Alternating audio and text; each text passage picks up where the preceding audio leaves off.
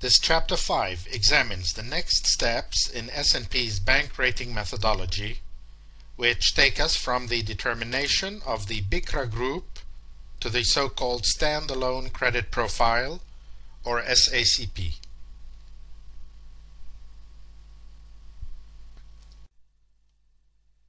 To make the discussion livelier in this chapter and in the next one, we will illustrate many of the key points of the S&P methodology by showing their specific application to individual banks. The banks we use for this purpose are BNP Paribas and Goldman Sachs. These have been selected because S&P's ratings reports on them are particularly thorough in our opinion and also because of these firms' importance to the global financial system and the likely familiarity of their business to you. Links to each of these reports can be found in the course outline you can access by clicking on the icon at the bottom left of this video, but you will need a paid subscription to access the full version of these reports.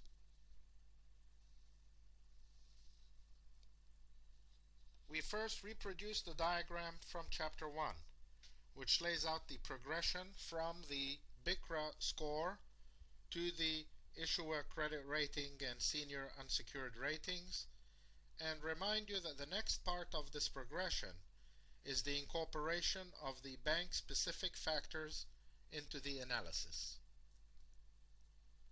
The four bank specific factors are business position, capital and earnings, risk position, and funding and liquidity. Just before we begin our examination of these four bank-specific factors, we must deal with the case of a bank whose business is spread out among a number of jurisdictions and how such a bank is treated for purposes of BICRA. Quite simply, when a bank is active in more than one country, the economic risk score is calculated as a weighted average of the economic risk scores. The calculation only includes countries where a bank conducts more than 5% of its business, with all weightings rounded to the nearest 5% before averaging. In contrast, a bank's industry risk score is determined by the BICRA industry score for the country where it is domiciled and primarily regulated. The main reason for this is the importance of the bank's home regulatory framework. Take, for example, the case of BNP Paribas, the French bank, whose BICRA group score would be 2 if it operated entirely in France, given the 2 score that applies to the French banking system. BNPP's business is spread roughly 60% in France, about 10% each in Belgium, Italy, and the US, and about 5% each in Germany and the UK. We note here that the actual report says 30% for France instead of 60%, but we believe this to be a typo. S&P calculates for BNPP a blended economic risk at close to 3 on the 1 to 10 scale for economic risk. This contrasts with the economic risk score of 2 applicable to France. When it comes to the industry risk assessment under BICRA, the 2 score for France automatically becomes the industry risk score for BNPP since this determination is based entirely on the home country's industry risk score. From a bank's economic and industry risk scores, S&P next derives that bank's so-called anchor SACP. This is done in accordance with the table appearing now which prompts the comment from S&P that the single A level is the strongest anchor SACP and reflects the volatility of banking even in the strongest markets. By embedding this notion of volatility into the anchor SACP, says Standard & Poor's, it is aiming to ensure that lessons of the post-2007 economic downturn will not be forgotten as national economies recover and another period of favorable conditions gives rise to growth and attractive headline banking profits. You will note that combining the two BNPP scores for each of the economic and industry risk scores results in an anchor SACP of single A minus for the bank.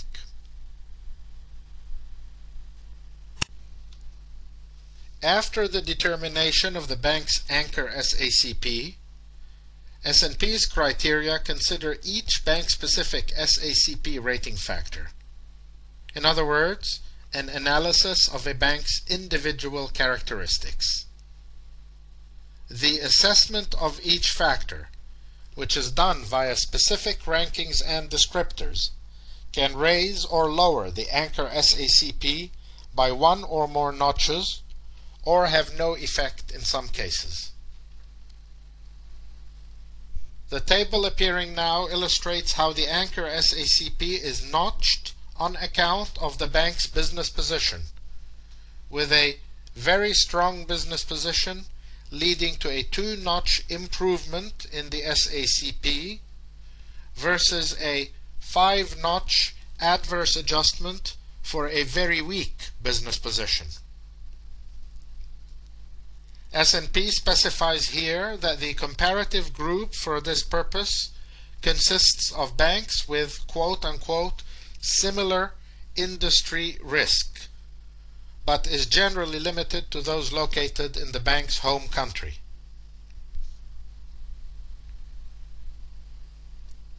The table appearing now illustrates how the anchor SACP is notched on account of the bank's capital and earnings with a very strong capital and earnings assessment leading to a two-notch improvement in the SACP versus a one-notch to five-notch adverse adjustment for a very weak capital and earnings assessment depending on the bank's anchor SACP. Standard & Poor's specifies here that the comparative group for this purpose consists of, quote, all banks globally, unquote, since globally consistent metrics are used as absolute measures to benchmark performance for the capital and earnings assessment.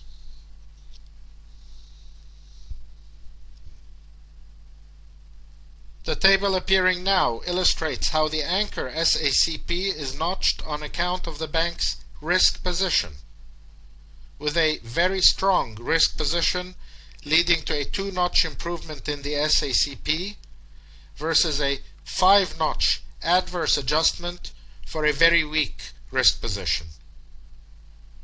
S&P specifies here that the comparative group for this purpose consists of banks with quote-unquote similar economic risk score and product mix. Finally, the table appearing now illustrates how the anchor SACP is notched on account of the bank's funding and liquidity, with various combinations of funding and liquidity rankings leading to anywhere from a one-notch improvement in the anchor SACP to a five-notch adverse adjustment, and with a number of instances in which caps are imposed on the final SACP. Standard & Poor's specifies here that the comparative group for this purpose consists of all banks in a country for purposes of the funding determination versus all banks globally for purposes of the liquidity determination. For funding, banks are compared with the domestic industry average so that this assessment remains consistent with the BICRA funding assessment. While for liquidity, the liquidity sub-factor uses a bank's liquidity ratios and dependence on central bank funding to make a comparison with national and international banks, hence the extension of the peer group to all banks globally. We turn next to more detailed commentary provided by S&P on each of these four SACP rating factors. We begin with business position. S&P views this as the combination of specific features of the bank's business operations that add to or mitigate its industry risk score and groups these features into three subfactors listed in the first column of the table about to appear. These are business stability, concentration or diversity, and management and corporate strategy. The next two columns provide an explanation of what each of these means and list a number of indicators for evaluating each of these subfactors. For each bank, the strength of its business position is scored using one of six standard descriptors that will appear in the next table based on conclusions about its strength relative to its peer group. The table for assessing the bank's business position is beginning to appear. And you can see already the six standard descriptors in the left column and their short form definitions in the middle column. The last column in the original table which provides guidance on these terms, is lengthy and detailed, but centers around the following considerations which we have summarized instead. Whether the strengths on the three subfactors listed above outweigh the weaknesses or vice versa. How the business compares to others with a similar industry score whether the bank required direct government support in the latest financial downturn when other banks did, and how successfully management has executed any restructuring plan associated with government support provided in the latest financial downturn. You will have noted that inadequate business position means that the industry risk score appropriately captures the risk of the bank's business activities. In other words, that when compared to banks with a similar industry risk score, the bank's business activities represent average risk.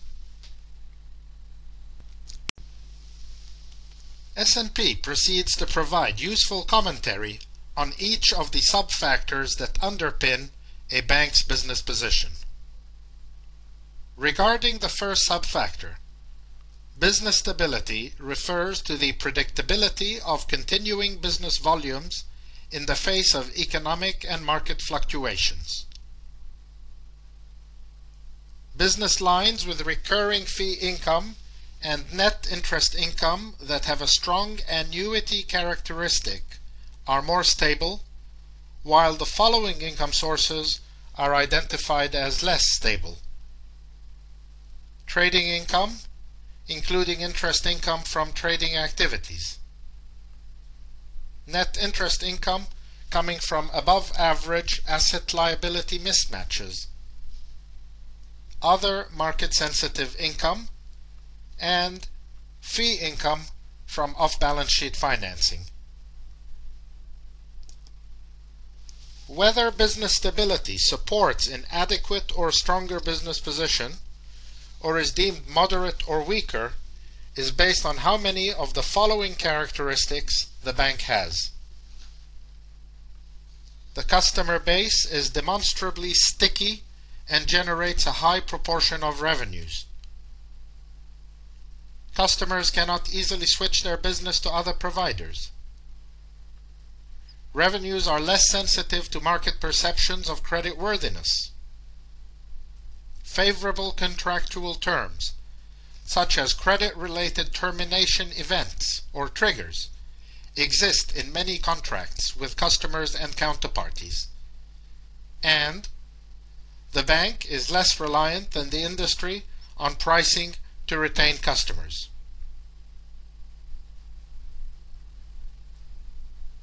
Regarding the second subfactor, concentration and diversity of business activities are measured by the contributions of different business lines and geographies to a bank's revenues, compared with banks with a similar industry risk. Diversification can be a weakness, however. A bank will weaken its overall business position if it enters new products and countries where it has limited expertise and lacks critical mass to be a real competitor to the incumbent market leaders. You should note that other areas of the criteria also consider concentration, but from a different perspective. For example, correlations among risk exposures are analyzed in the upcoming assessment of risk position and concentrations and funding sources are addressed in the upcoming funding and liquidity discussion. Regarding the third subfactor, management and strategy considers management's ability to execute operational plans in a consistent manner. A bank's strategic direction, management's risk appetite, and the bank's ownership and governance, all of which shape a bank's competitiveness in the marketplace and its financial condition. Whether management and strategy support an adequate or stronger business position, or one that is moderate or weaker, is based on the following characteristics. Whether the bank's risk appetite is more prudent and conservative than average in the industry, and whether there is a track record of avoiding the strategic mistakes of others, whether returns have been and are likely to be less volatile than average in the industry, whether independent directors have a strong influence and a robust system of checks and balances exists in decision making. Whether the bank consistently outperforms the sector or country average ROE, particularly during a period of expansion. Whether the entity depends on continuing service from key individuals or from small teams. Whether compensation schemes encourage short-term profit-taking, whether there is unplanned management turnover in critical senior positions, and lastly, whether the bank has made acquisitions at premium prices. In the case of BNPP, S&P ranks the bank in the very strong category for this factor, identifying the following points in particular.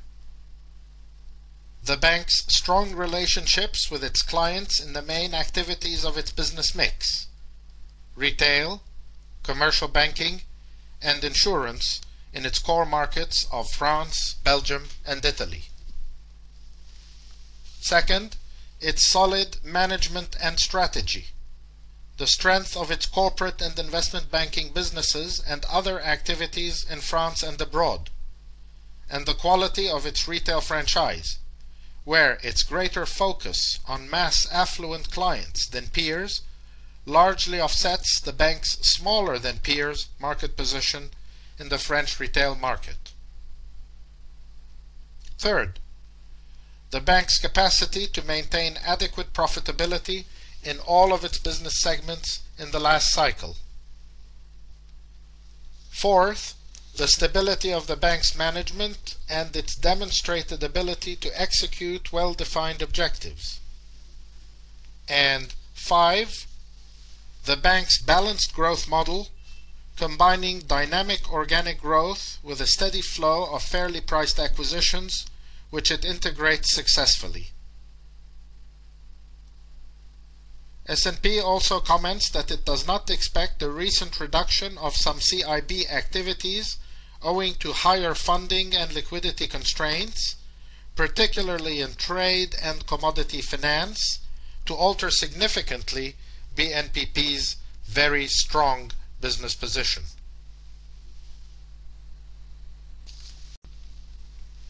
The second SACP rating factor is capital and earnings which is analyzed via an assessment of regulatory requirements, projected risk-adjusted capital levels, quality of capital and earnings, and earnings capacity. These various metrics are combined in scoring capital and earnings on the usual six-point scale in accordance with the table beginning to appear now.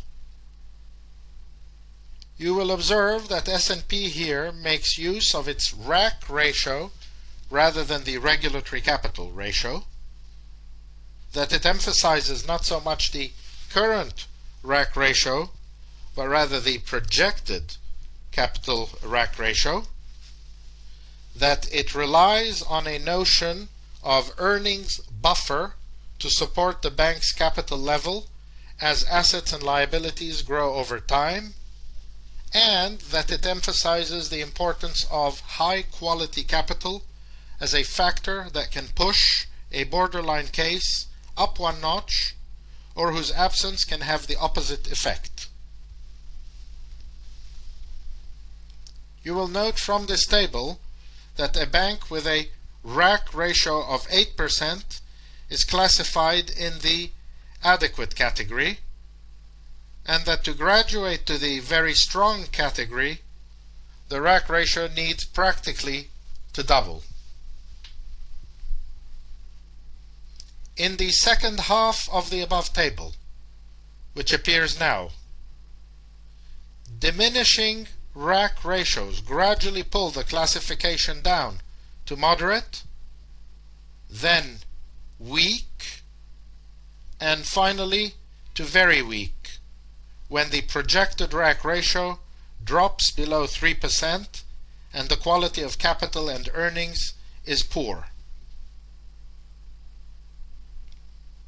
The remaining discussion provided by S&P on each of these factors is highly technical, extremely detailed and quantitative, and contains numerous caveats and exceptions. To go into it in any detail would overwhelm the person watching this video, we will content ourselves with a few key observations that are central to the analysis.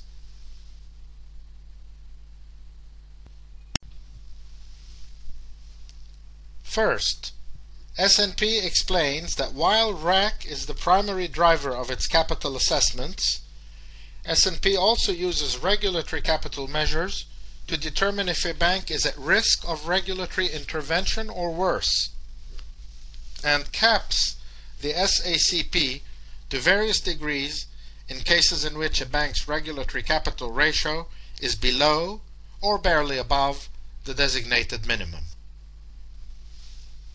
Second, S&P emphasizes that capital analysis is closely linked to earnings sustainability, since it views earnings as the primary means of absorbing expected through the cycle credit losses leaving to capital the need to absorb unexpected losses, as we explained earlier.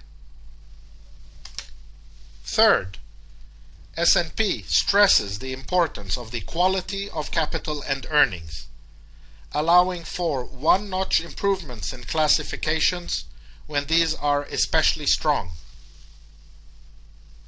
The following characteristics facilitate the assessment of the quality of capital and earnings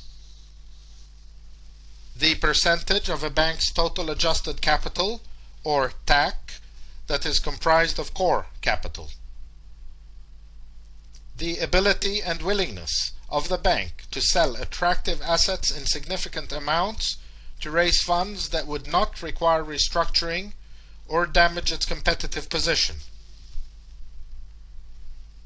The extent to which the government may have contributed to total adjusted capital but expects repayment when possible. Dividends or planned share buybacks that may prevent the maintenance of strong capital.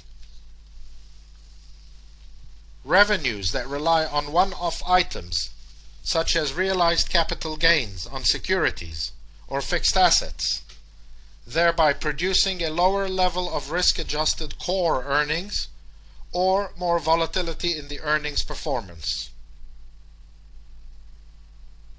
The extent to which revenues are generated from a relatively narrow business line, especially when net interest income and fees and commissions account for an unusually low percentage of revenues, and any deficiency in loan loss reserves.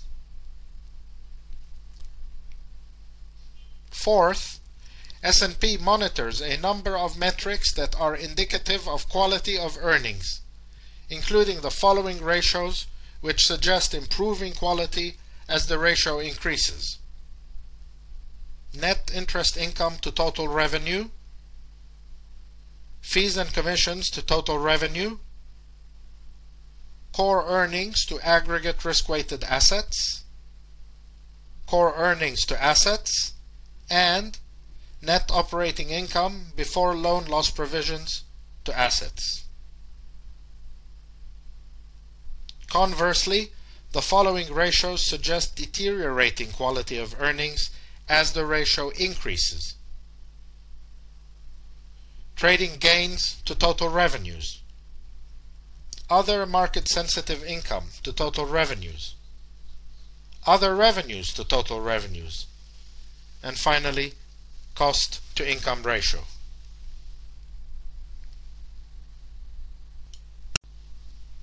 In the case of BNPP, S&P ranks the bank only in the moderate category for this factor, given the mere 6.5% to 7% RAC ratio the bank was expected to achieve, quote, in the next 18 to 24 months, unquote.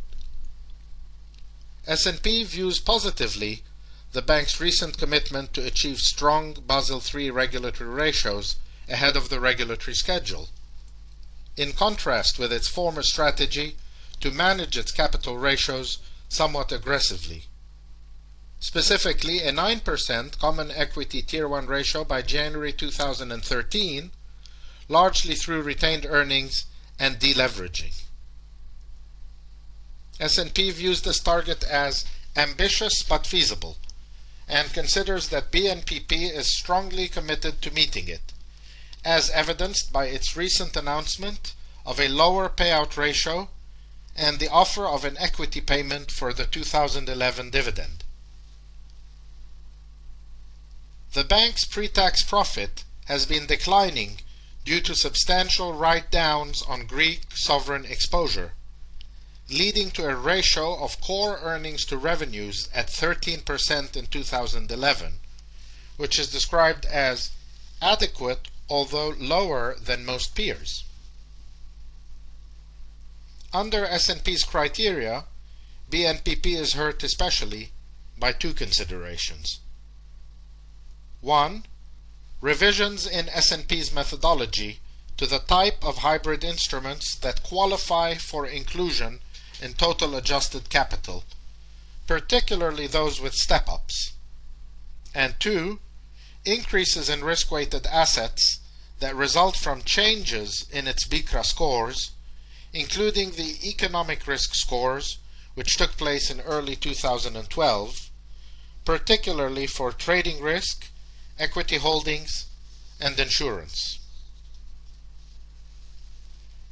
These last two points in particular bear a little emphasis. In two tables accompanying the discussion of the bank's capital and earnings measures, S&P explains that it excludes some 7.4 billion euros of hybrid instruments from the 12.6 billion that BNPP reported as of December 31, 2010. Furthermore, that it calculates for the bank's equity positions in the banking book a risk-weighted asset equivalent of 120.6 billion euros versus the 22.5 billion calculated by BNPP under Basel II guidelines.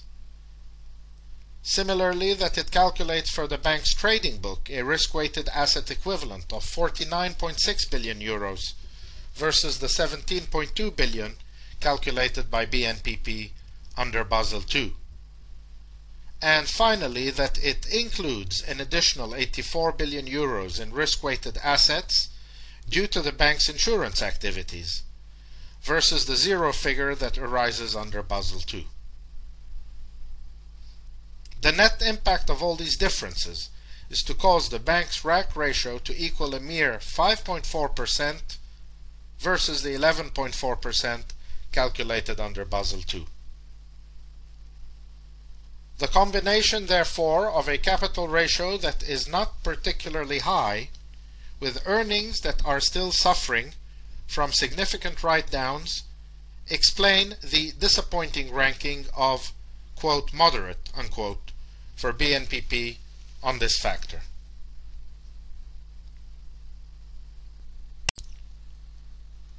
The third SACP factor is the bank's risk position, which serves to refine the view of a bank's actual and specific risks beyond the conclusion arising from the standard assumptions in the capital and earnings analysis. To differentiate a bank's unique risk position, S&P analyzes five areas. How the bank manages growth and changes in its risk positions. The impact of risk concentrations or risk diversification. How increased complexity adds additional risk whether material risks are not adequately captured by the RACF, and evidence of an adequate, strong, or very strong risk position by comparing past and expected losses on the current mix of business with those of peers, and with S&P's standard risk assumptions. Greater than average losses may indicate a weaker risk position. The table appearing now provides guidance on how these five considerations are combined to form a single opinion on risk position. The outcome, as usual, ranging from very strong to very weak. The factors that determine the classification of the bank in the appropriate category are listed next. Management's capacity to manage risks arising from growth or changes in exposure management's capacity to manage risks arising from complexity, the degree to which risk diversification dampens the negative impact of economic downturns, whether the RACF captures all material risk exposures or the diversification benefit outweighs any risk that the RACF misses, how the bank's recent loss experience and prospective loss trend compares to that of peers, and finally, how the bank's loss experience during past economic downturns compares to the average. For example, the original table provides the following guidance for when a bank would earn the moderate assessment for its risk position. Management may not have the capacity to manage risks arising from growth or changes in exposure. Or, either there are material risk concentrations or any risk diversification is more than offset by other higher risk characteristics. Or, management may not have the capacity to manage risks arising from complexity. Or, the RACF misses material risk exposures.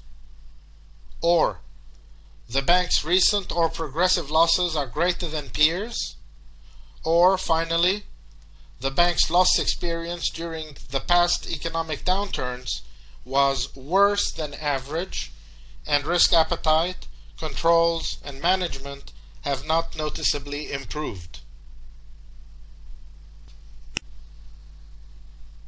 S&P next provides a very useful example to illustrate how the risk position assessment combines with the capital and earnings assessment to alter the anchor SACP.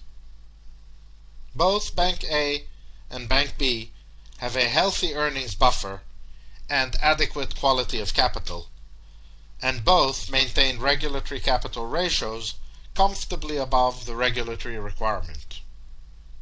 However, Bank A has an 11% projected RAC ratio and Bank B a 6% projected RAC ratio.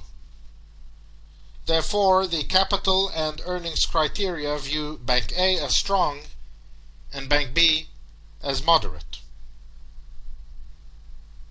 Following fundamental risk analysis, it becomes evident that Bank A's loss experience is more volatile than peers. While its risk management looks good, many products are complex. There are large derivatives exposures, a large and risky private equity portfolio, and a narrow focus on advisory services, structured credit, and proprietary trading. Bank A, therefore, has a quote-unquote moderate risk position. Bank B has a quote global retail and commercial franchise with market leading positions in all of its business units. The products are simple. Off-balance sheet activity is low, and all derivatives hedge customer-driven business. The bank has grown steadily through time and often at a slower pace than aggressive competitors. Volatility is lower and losses are consistently less than average. Notably, Bank B continued reporting profits during the previous two downturns. Bank A, Bank B, beg your pardon, has a very strong risk position.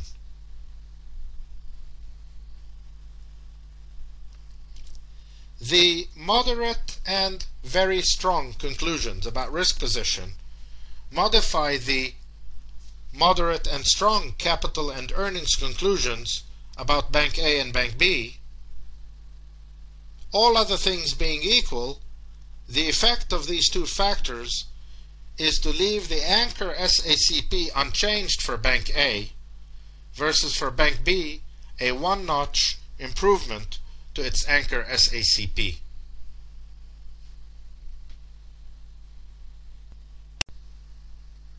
S&P next provides useful color on the five considerations for the assessment of the bank's risk position, which we summarize next. Management has the capacity to manage risks associated with growth and changes in exposure when a bank is displaying one or more of the trends below. Showing lower recent organic or acquisitive growth and modest prospects for future growth than in the past and compared with peers with a similar economic risk score, when the lower growth is based on avoiding risk and declining riskier growth opportunities that other banks are willing to take. Maintaining underwriting standards despite competitive pressures. Reducing its risk exposure, for example by exiting risky activities or tightening underwriting standards. Remaining focused on serving its core customer base with traditional expertise and limiting opportunistic proprietary activities. Refraining from new product, customer, or market activities outside of its traditional area of expertise. Or keeping a similar portfolio of risks that limited losses experienced in previous economic downturns. There is a risk diversification benefit when a bank has the following. The RACF adjustment for concentration and diversification indicates a reduction in Standard & Poor's risk-weighted assets the exposure to counterparties for derivatives and other trades as a share of total risk-weighted assets is diversified and not material. Geographic diversification arises from exposures that are clearly connected with a client franchise abroad and not from opportunistic product, tax, regulatory, or currency arbitrage. And sector or risk type diversification arises from operations in activities that are no more risky than the bank's traditional core business.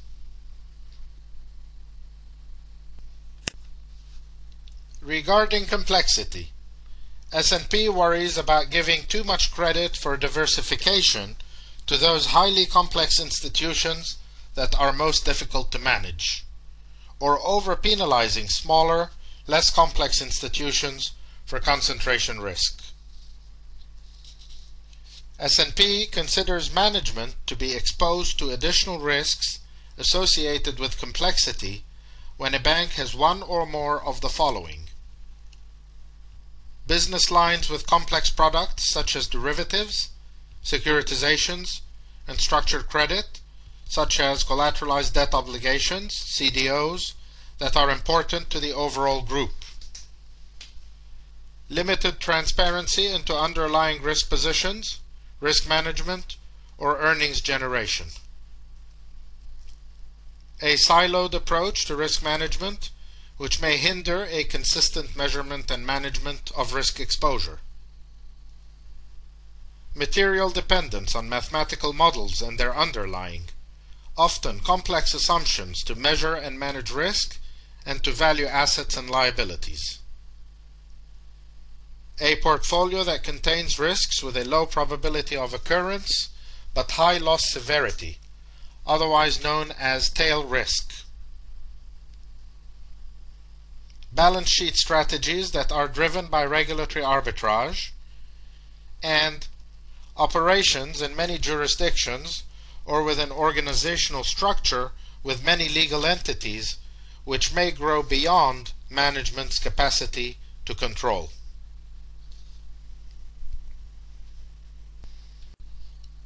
Turning to risks that the RACF may not cover, S&P highlights two such risks in particular.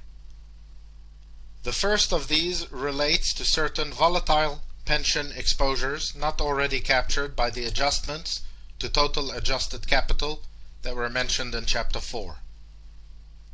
The second key risk relates to interest rate and currency risks in the banking book, including structural interest rate risk, which arises naturally from business lines such as mortgage lending and strategic interest rate risk, which the Asset Liability Management, or ALM, function maintains and manages. Analysis of interest rate risk includes a review of some or all of the following. The sensitivity of a bank's projected earnings to changes in interest rates or the shape of the yield curve based on its own stress testing. Senior management's engagement and awareness for setting and managing the amount of interest rate risk. The degree of maturity gap between repricing assets and liabilities, and the adequacy of a bank's risk management based on a review of its scenario and stress testing optionality characteristics of assets or liabilities with prepayment or extension options, or other behavioral characteristics that differ from contractual ones. In the case of BNPP, a strong assessment for risk position is deemed appropriate on account of the bank's strong diversification of its risk exposure and its recent loss experience. Evidence that the bank's risk exposure is particularly well diversified comes from the 25% diversification benefit of the RAC ratio, as well as from the low level of concentration of single names and sectors in the loan book. S&P adds that BNPP has demonstrated in the past four years its robust risk position and enterprise risk management and a risk appetite that is viewed by S&P as lower than peers. Perhaps more instructive here is S&P's commentary on the risk position of Goldman Sachs. Although we should point out that the research report on which this is based precedes the rollout date of S&P's bank rating methodology in November 2011, although we do not believe this would affect much of what is stated in the Goldman report. recognizing that Goldman makes markets in a wide variety of securities and commodities, including high risk, less liquid assets, such as distressed debt and emerging market securities, which can be very profitable because of larger spreads and fees in these markets.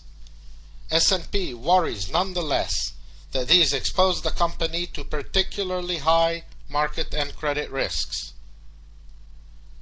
Yet S&P finds that despite its aggressive risk appetite, Goldman has been highly adept at exploiting trading opportunities while avoiding the severe problems encountered by the majority of its peers. For example, those stemming from exposures to asset-backed collateralized debt obligations or CDOs.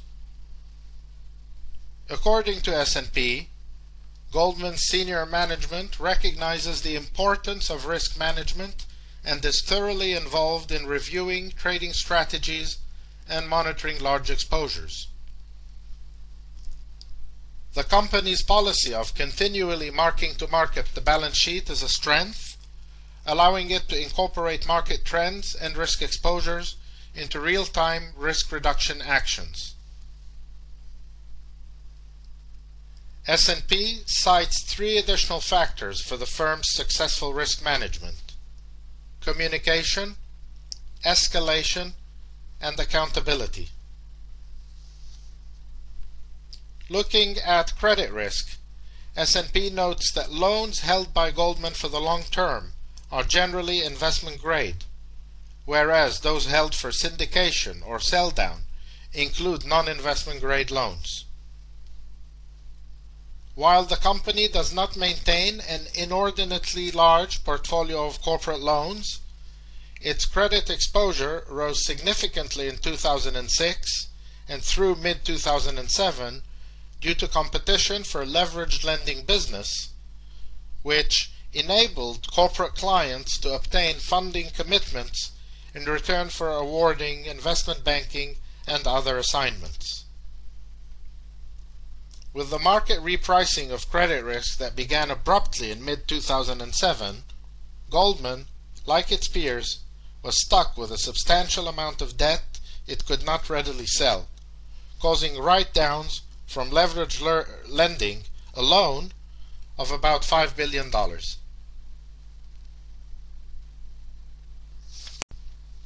Goldman is also exposed to credit risk from its activities as prime broker to hedge funds including the financing of the fund's securities holdings and the lending to them of securities to facilitate short sales.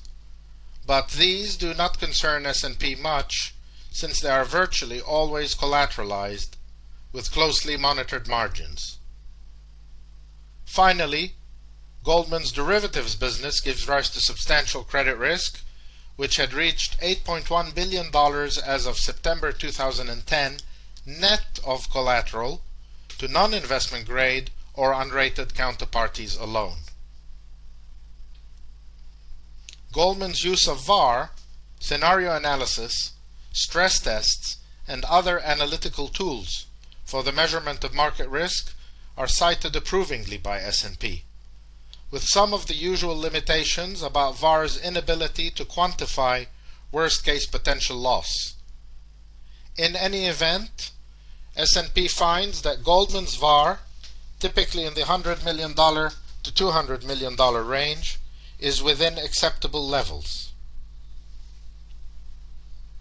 Turning finally to operational risk, S&P judges Goldman to face a relatively high degree of operational risk, including losses from shortcomings in internal control processes, system failures, and reputational risk from negative publicity or litigation. On this last point, S&P cites in particular the firm's $550 million settlement with the SEC involving claims that the firm had made materially false and misleading statements to investors relating to a 2007 CDO offering, and a number of other lawsuits alleging breach of fiduciary duty and securities fraud, among other charges. All of this makes likely continued close scrutiny by regulators in the opinion of S&P.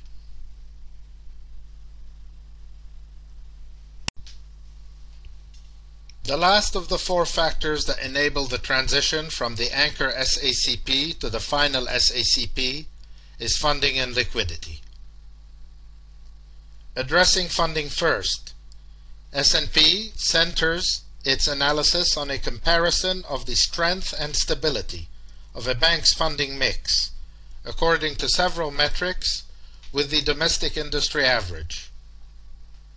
A bank develops a mix of funding resulting from its strategic choices about what products and services to offer, and risk management decisions about what funding options to use, given the availability of stable core deposits or term funding and riskier short-term wholesale funding. The criteria begin the assessment using the bank's loan-to-deposit ratio, long-term funding ratio, reliance on short-term wholesale funding, and overall funding mix. The table appearing next shows how S&P ranks banks within a country's banking industry according to these metrics and compares them against the industry average, weighted by assets. The three possible classifications are above average, average, and below average, and these are determined by use of the following criteria. How well established, stable, and diversified a source of retail funding the bank has. For example, a deposit franchise with a high proportion of insured balances. How diversified the funding sources are by tenor, and how appropriate for the asset profile how confidence sensitive the funding is, i.e., how much the bank relies on potentially more sensitive non resident deposits or market leading pricing to attract and retain balances. How much short term funding in domestic or cross border capital markets the bank uses versus the industry average. And generally, how diversified the funding is across stable sources as compared to the bank's peers. Turning to liquidity, S&P focuses carefully on the bank's relative dependence on central bank funding and its ability to access other liquidity sources, commenting that liquidity becomes progressively weaker as an institution increasingly relies on funding support from the monetary authorities. The table appearing next shows how S&P classifies banks' liquidity position in one of six categories, ranging from strong to very weak, defining each ranking by reference to how long the bank can survive under stressful conditions and how much use of central bank funding it is likely to need. The table also provides guidance on how to determine these rankings by means of the following considerations. The strength of liquidity ratios and market indicators compared with other banks in the same country. The ratio of short-term sources of liquidity to short-term uses. How long the bank can survive without access to market funding whether the bank can access unsecured funding, how quickly risk management responds to growth in more sensitive funding sources, the existence of contingency plans for adverse conditions, including the pledging of collateral with the central bank to raise liquidity. The amount of large or unusual liquidity needs in the next 12 to 24 months. Whether the bank applies comprehensive stress scenarios to identify the full range and size of contingent liabilities, and whether contingent liabilities are material, easily identified, and well captured. S&P next explains that its liquidity analysis includes non-contractual or reputational contingencies arising from management's perceived need to preserve franchise value. Examples include the repurchase of commercial paper in advance of maturities, calling long-term debt at the first call date, despite having no contractual obligation to do so, the provision of support to money market funds, securitizations, tender option bonds, and auction rate securities, or support of secondary markets and assets as a market maker. S&P states that the criteria rarely treat liquidity for a bank as strong, even when its management is solid, since a key source of contingent liquidity is based on support from the central bank or monetary authorities, which means that banks are not entirely self-supporting. High leverage and mismatched maturities of assets and liabilities make banks confidence sensitive, an essential condition that permits the bank to avoid repaying all deposit liabilities on their contractual maturity date.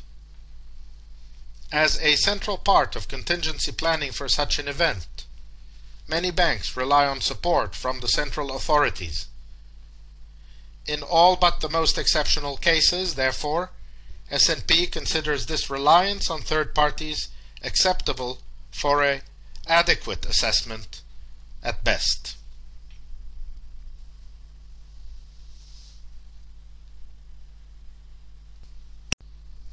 S&P concludes the section on liquidity by listing the potential sources and uses thereof that it takes into account to determine if the balance between the two is appropriate.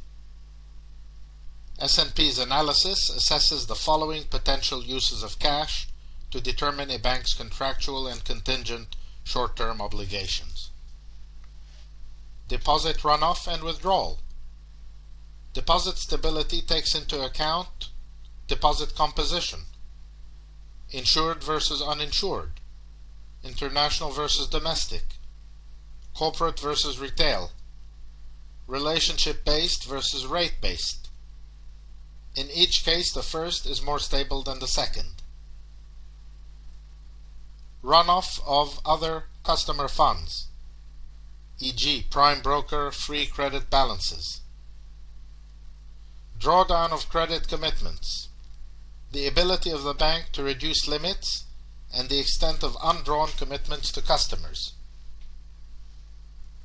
the maturity profile of wholesale liabilities, inability to roll over short-term unsecured borrowings, e.g. commercial paper, certificates of deposit, promissory notes, or to refinance maturing long-term unsecured debt.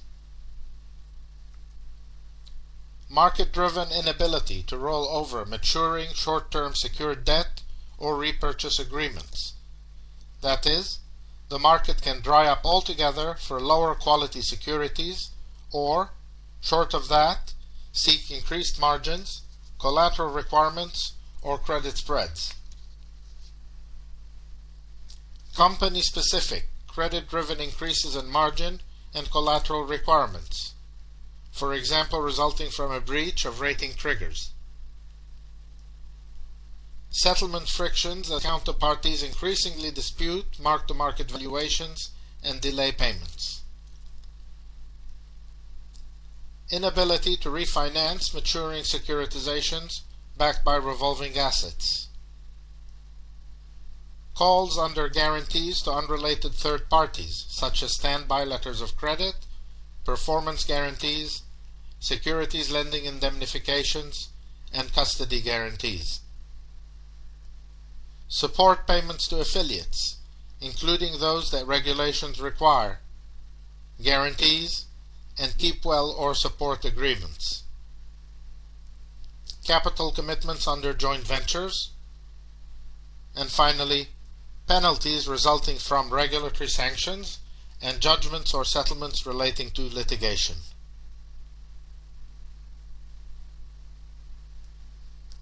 S&P similarly assesses the following potential sources of liquidity with particular attention paid to its dependability.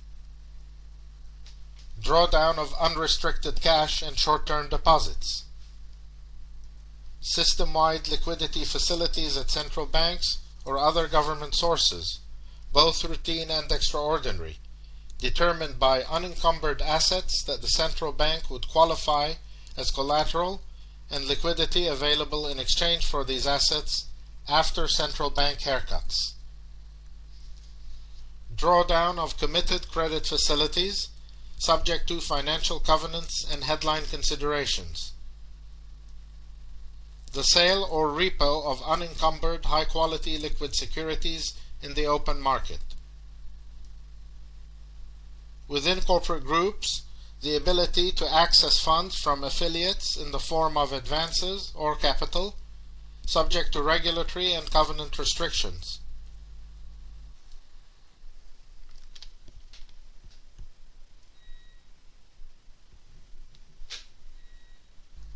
Liquidation of short-term advances to other financial institutions and reverse repos.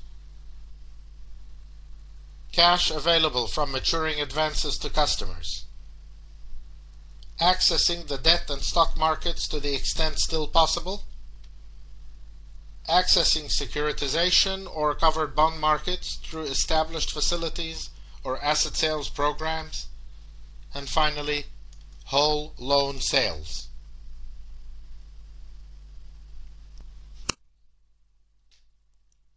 With regard to BNPP, funding is deemed average by S&P in line with domestic and most international peers, despite deterioration since mid-2011 when the Eurozone crisis intensified. BNPP relies on wholesale funding because its loan book slightly exceeds its customer deposits and capital markets funding. As a result of challenging capital markets from mid-2011, BNPP accelerated its strategic reviews of its businesses and started significant deleveraging actions, partly in preparation for the upcoming Basel III capital and liquidity regulations. The bank reduced its US dollar funding needs by 30% within six months by sharply reducing its trading and financing activities in dollars. Still, S&P considers that BNPP's funding benefits from stable and cheap customer deposits in domestic retail activities, a significant presence in businesses such as retail banking abroad, private banking, and security services that generate additional deposits, and highly diversified wholesale funding sources in terms of support and geography, with a strong private placement capacity and an overall moderate level of encumbered assets. BNPP's liquidity is also deemed adequate by S&P. The bank maintains large liquidity reserves, mainly comprising securities eligible for central bank financing, and periodically adjusts it using liquidity stress tests.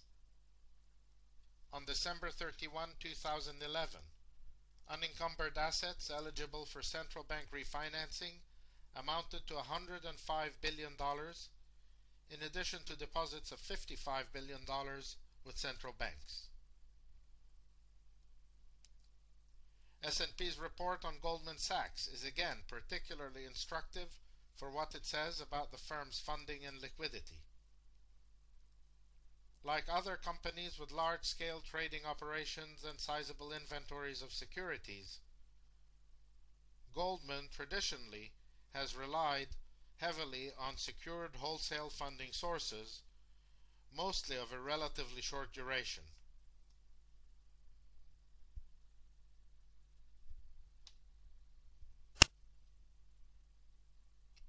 Because Goldman has an almost constant need to raise funds in the capital markets, it is subject to sudden losses of confidence among its funding sources during market turmoil. According to S&P, Goldman coped relatively well with the fear-driven market conditions that prevailed in late 2008 and early 2009, helped by the high esteem in which it is held by market participants, its above average earnings, and conservative liquidity management. Despite this, extraordinary government support underpinned its funding stability from September 2008 through early 2009. Importantly, in response to unstable market conditions, Goldman significantly increased its excess liquidity. Its global core excess, or GCE, averaged $173 billion during the third quarter of 2010, up from an average of $51 billion during 2006. The GCE represents pre-funding of the cash requirements Goldman estimates it would need in a liquidity crisis. It is held in the form of highly liquid securities that may be sold or pledged to provide same-day funds principally in U.S. government and agency securities and highly liquid mortgage securities, all of which are Federal Reserve repo eligible, and in overnight cash deposits, plus some French, German, UK, and Japanese government bonds and overnight cash deposits in euros, British pounds, and Japanese yen. S&P believes Goldman's excess liquidity could diminish somewhat as market conditions improve, though new regulatory regimes such as Basel III will require a greater level of excess liquidity than in the past. In sizing its GCE, Goldman considers upcoming maturities of unsecured debt and letters of credit, potential buybacks of a portion of its outstanding unsecured debt, adverse changes in the terms or availability of secured funding, derivatives and other margin and collateral outflows, including those due to market movements, potential cash outflows associated with its prime brokerage business, draws on its unfunded commitments, and upcoming cash outflows such as tax and other large payments. The average maturity of the firm's long-term unsecured debt is about seven years. Goldman meets the bulk of its securities inventory funding needs with secured borrowings, including repos. Goldman relies on overnight repos only for its highest quality securities. The average age of its secured funding book is longer than 100 days with the more difficult to fund assets having the longest repo terms. This brings us finally to the end of this chapter 5.